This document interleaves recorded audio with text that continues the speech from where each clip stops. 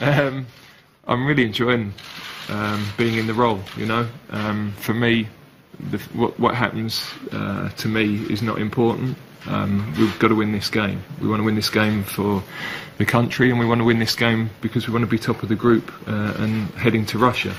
That's the task I was given. Um, I said earlier in the week, it, what happens to me is important to my family, but um, but um, other than that, it's not it's not the reason and the purpose for the game. You know, I, I want the players to go out and enjoy their football, to play well, um, and I'm sure they will.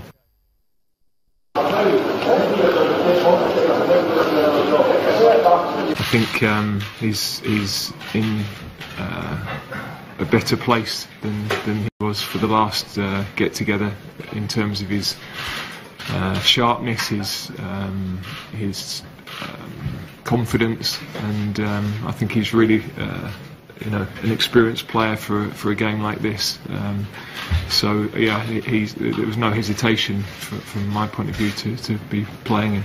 He's playing well, you know. He's played well the last couple of matches for Manchester United. I think he's a player that, when he's in a rhythm of playing, that helps.